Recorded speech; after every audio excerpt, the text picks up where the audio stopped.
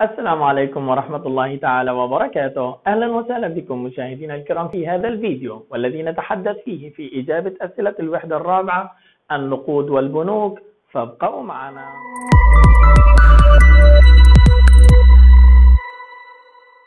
عدنا إليكم من جديد. نبدأ مع هذا السؤال.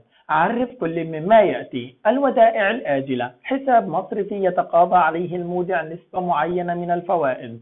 شريطة عدم سحبه قبل نهاية المدة المقررة. وديعة لأجل أن يضع هذا الشخص هذا المبلغ في البنك مقابل مدة معينة مثلا مدة سنة سنتين ثلاثة على هناك شرط بينه وبين البنك على آلية الصرف.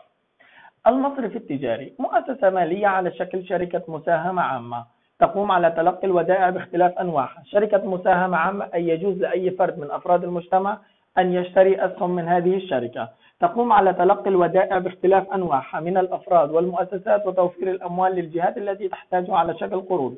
هنا تتلقى الودائع ودائع لأجل ودائع حسابات التوفير مثلا حسابات جارية تتلقى الأموال من أفراد المجتمع. في المقابل هذه الأموال من تتلقاها؟ من الأفراد والمؤسسات في المقابل بتوفر الأموال للجهات اللي بتحتاجها. الجهات اللي بتطلب قروض هي بتعطيها هذه القروض. بهدف تحقيق أقصى الأرباح أقصى الأرباح مقابل أنه أنا بعطيه اللي أودع نسبة قليلة مثلا نصف المية واحد في المية مقابل باخذ من اللي أخذ مني قرض 4% أو 5% وما شابه ذلك. من خلال الفارق بين الفوائد المدفوعة على ودائع الجمهور والفوائد المقبوضة على القروض والتسهيلات الائتمانية المصرف المركزي مؤسسة حكومية توكلها الحكومة بإدارة وظائف مالية كإصدار النقود والمحافظة على كمية عرضها ومتابعة كافة العمليات الخاصة بالمصارف التجارية. البنك المركزي هو بنك البنوك هو البنك الذي يشرف على جميع البنوك وهو المختص بطباعة الأوراق النقدية. وبالتالي هو الذي يتلفها وهو الذي يصك هذه النقود وهو الذي يحافظ على كمية وعرض النقود في السوق. ننتقل إلى السؤال الثاني. عدد القوانين والأنظمة المنظمة لعمل القطاع المصرفي. قانون المصرف المركزي قانون المصارف قانون تنظيم أعمال الصرافة. ما الفرق بين النقود والثروة؟ النقود هي أي شيء يلقى قبول عام ويستخدم وسيط للتبادل ومقياس للقيم ومستودع لها. يلقى قبول عام أي كل أفراد المجتمع تتقبل هذه العملة وتستخدمها. تستخدمها وسيط للتبادل أي أستطيع أن أشتري القمح بهذا المال وأستطيع أن أشتري الأرز وأشتري أن أشتري الفواكه والخضروات. ومقياس للقيمة أي أن هذه الأشياء تقوم بقيمة بهذه الورقة النقدية. ومستودع لها لو أنا خبيت أو ادخرت هذه الأموال بأحصل على نفس القيمة بعد مدة من الزمن. ووسيلة للدفع الآجل أي يمكننا ندفع فيها الديون وغيرها. والثروة كل ما يمتلكه الشخص من أوراق نقدية وعملة مساعدة ودخل وأصول. هذه اللي بتفرق عن مين؟ عن النقود. النقود عملة سائلة. أما الثروة هي السائلة وزيادة عليها الأصول الثابتة كالأراضي والمباني وما يحصل عليه من دخل. فكل نقود ثروة وليس كل ثروة نقود. ننتقل إلى السؤال الرابع. قارن بين المصرف المركزي والمصرف التجاري من حيث التعامل بالفائدة والتعامل مع الجمهور والهدف وصك النقود. مجال المقارنة التعامل بالفائدة المركز المصرف المركزي يتعامل بالفائدة في جميع معاملاته وهو الذي يحدد أسعار الفائدة في الاقتصاد. أما المصرف التجاري فهو يتعامل بالفائدة أخذا وعطاء فهي أساس عمله. أما التعامل مع الجمهور فالمصرف المركزي لا يتعامل مع الجمهور. أما التجاري فأساس عمله التعامل مع الجمهور من خلال قبول الودائع. الهدف ضبط أعمال الرقابة والتوجيه على المصارف في الدولة. هنا تحقيق أقصى الأرباح المادية. سك النقود المسؤول عن سك النقود وإتلافها. ليس له سلطة في سك النقود وإتلافها. ننتقل إلى السؤال الخامس علل لكل مما يأتي. المصرف الإسلامي لا غنى له عن التعامل مع المصرف المركزي. المصرف المركز الإسلامي بحاجة للمصرف المركزي للحصول على التراخيص اللازمة. لكي يكون معترف به ويتم التعامل معه ويلقى قبول لابد أن يكون مرخص من ضمن البنك المركزي كي يزاول عمله وخدماته المصرفية وهو يخضع لسلطة وإشراف المصرف المركزي في التزامه بقانون البنوك. كما يراقب في عدم تعامله بالربا أخذا وعطاء كما يسهل عمل المقاصة بينه وبين البنوك الأخرى.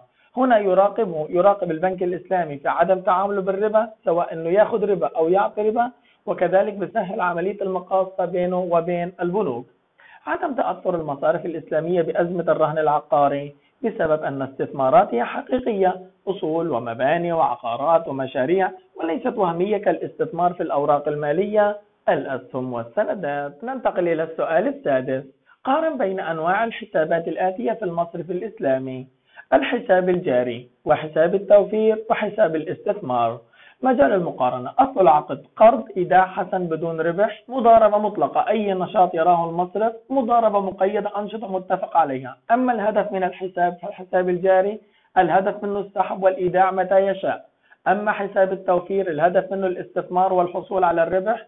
أما حساب الاستثمار المخصص فالاستثمار والحصول على الربح. المشاركة في الربح والخسارة. هنا غير مشارك هنا مشارك وهنا مشارك.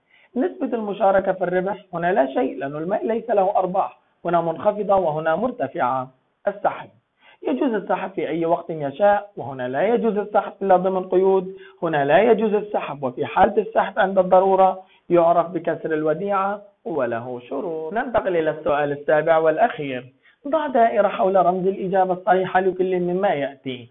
ماذا تصبح النقود عند استخدامها في التعبير عن ثمن الأشياء؟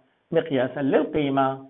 ما احتمالية تحقيق الكفاءة الاقتصادية الناتجة عن استخدام الشكات في تسوية المعاملات المصرفية أقل من استخدام النقود. أي من الآتية يشكل الأساس الذي أسهم بشكل كبير في نشأة وتطور المصارف؟ الثقة. من أين استمدت المصارف التجارية اسمها؟ من عمليات الإقراض قصيرة الأجل للتجار. ما نوع المنشأة التي يشكل على أساسها المصرف التجاري؟ شركة مالية على شكل شركة مساهمة عامة. ننتقل إلى البند السادس. ما المصرف الذي يشكل الملجأ الأخير لاقتراض المصارف التجارية عند الضرورة؟ المصرف المركزي. ما النقود التي تصدر بموجب أمر مباشر بالصرف المصرفية؟ ما السبب الرئيس في ظهور النقود المساعدة؟ مساعدتها للنقود الأخرى في تسهيل المعاملات. ما الحساب المصرفي الذي يفتح لتشجيع صغار المستثمرين على الادخار؟ حساب التوفير. فيما تتمثل استخدامات المال في المصرف التجاري أصول المصرف. ما المصرف الذي يعد من المصارف الأجنبية العاملة في الاقتصاد الفلسطيني؟ البنك العربي. ننتقل إلى البند الثاني عشر. ما الوظيفة التي لا تستطيع سلطة النقد الفلسطينية ممارستها؟ فك العملة وإتلافها. أي مما يأتي يعد من النقود الخاصة التي تصدرها المصارف التجارية؟ الإلكترونية. ما صيغة التمويل التي تقوم على شراء المصرف للسلعة؟ ما بهدف إعادة بيعها فيما بعد للزبون؟ المساومة. ما أقدم نظام تمويل تعامل فيه المصرف الإسلامي؟ المضاربة. هنا في مشكلة في المساومة بالخطأ مكتوبة أما الإجابة؟ المضاربة. اشترك صهيب في عملية مرابحة لشراء صفقة من حجر البناء بقيمة تمويل بلغت 35 ألف دينار. مدتها ثلاث سنوات. بنسبة مرابحة 10% سنويا على أن يقدم صهيب دفعة مبدئية 5000 دينار. فما مقدار القسط الشهري الذي سيدفعه 1083 و3 من عشرة من الدينار؟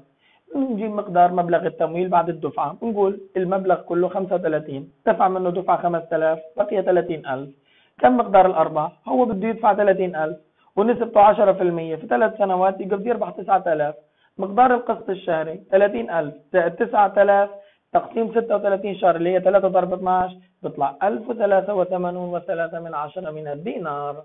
في الختام نشكركم على كرم المتابعة ونسأل الله العلي العظيم لنا ولكم دوام التوفيق والنجاح.